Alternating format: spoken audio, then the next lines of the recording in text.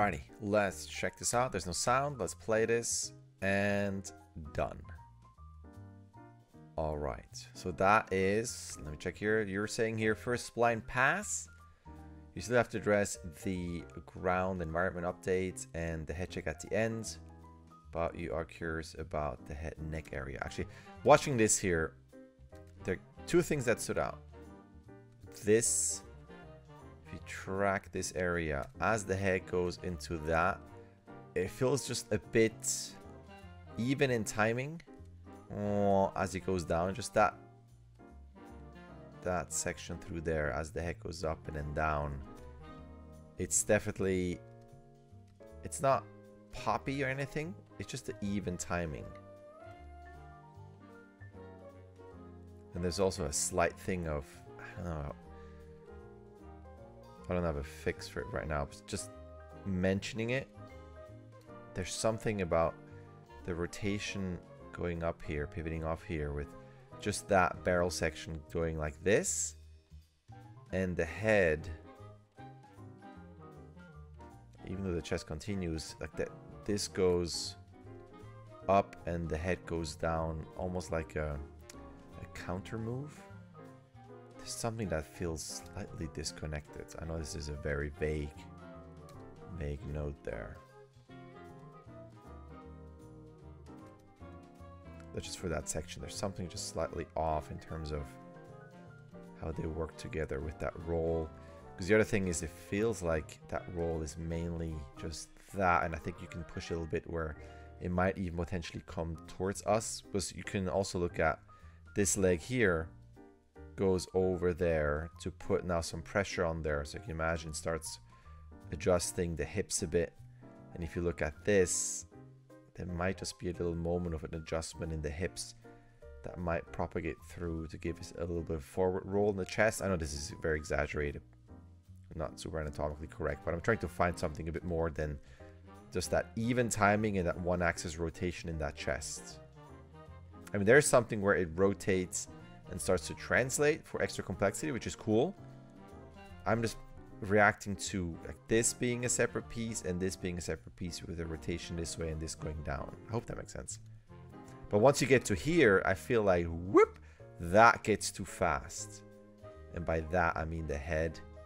Move that right there. Whoa, right there. Because you have a fairly slow spacing and then suddenly really fast and then slow again and then up a bit faster. And the other thing with that is that, I mean, it's a short distance. There's not much you can do in terms of rotation, but it just feels like it's this IK head that Sutton translates that again kind of goes against what the body is doing.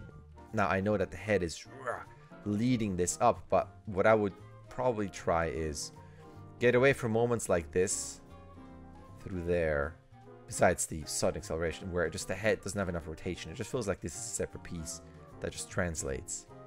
And I would incorporate a bit more roll this way as it leans into this. And then instead of a sudden translate, you anticipate that first. You lead it first with a rotation up. I would personally look at bringing that nose up first. So then here, it's also less straight on. Just silhouette wise, it's kind of it's just an odd look. It feels all very scrunched. And if you start having this uh, rotation that's sooner, you might have the the nose part here with just a bit more of a, a perspective on uh, the length of that head. That's a bit more something like this. This just to me feels a bit more appealing than the straight on. So get that in sooner. So you really lead with the nose up uh, into that. And then same thing here. Not look at any reference if I just look at this separately there's just a slight feeling of fairly straight line. And then if you look at the distance it covers, A down and also this way, here suddenly it seems to just stop and goes straight up. I know it goes slightly this way, but it's just a slight feel of fast and then suddenly stop. Like that's the feeling of it. So same thing here where I would personally exaggerate and get a bit more of a rotation and a nose up and a bit of a drag. Just engaging those rotations a bit more with an arc that's just a bit more exaggerated. That's, that's the main thing that I see, like the sudden acceleration in here, and that which, that I feel the, the strength of it, that's fine. This feels like suddenly too fast on that hit move. But then with this one, it feels a bit too like that. Just a bit clunky in terms of the pass and not enough rotation. And giving this again, this this is a piece and this is a piece.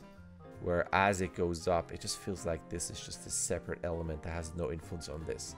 Now that being said, I'm not, I'm gonna fully admit here, I'm not a horse expert. So if you say that, well, if a horse has the head down and then brings the head up, it, there's no real chest influence there. I, I can't say yes or no. I don't know. I have to look at the reference again. But just right now, looking at it visually, there's just something where all that stuff feels separate. Also, in terms of steps, when you have like I like that compression there, uh, getting up, but when that this leg goes up here, I don't feel any impact and just influence on that step. And also, I will try to get these. How far do you? It takes quite some time for that leg to straighten, and this just feels odd on a horse to have bent knees. Like they're just very quickly going into a fairly not super curved back, but a very strong position. So to me, it feels like when that leg goes up here, bam, you want to go straight very quickly, which then will probably push that chest up and that moment up here just for a little bit of a that's a technical term where you feel that sudden push and straightening and force on the horse legs there. Same thing here. See how far you can push this where you might even have a little rotation in the in the hips. As this pushes up this rotates over. This might get too into fantasy land stylized but it's always easier to, to me at least to push those things and then scale them back just so there's a bit more flexibility. And in terms of reference I don't know if that's enveloping if that's how horses do it but this shape feels odd how it just kind of grows out there and goes back. And I know it's this side here going out in terms of that angle but look look at that just that scale and look at that reference. If if that's what they do or if you want to cheat it and just keep it towards camera there's just something about this feeling a bit a bit odd. Mainly just because of that it just feels like a geometry scale.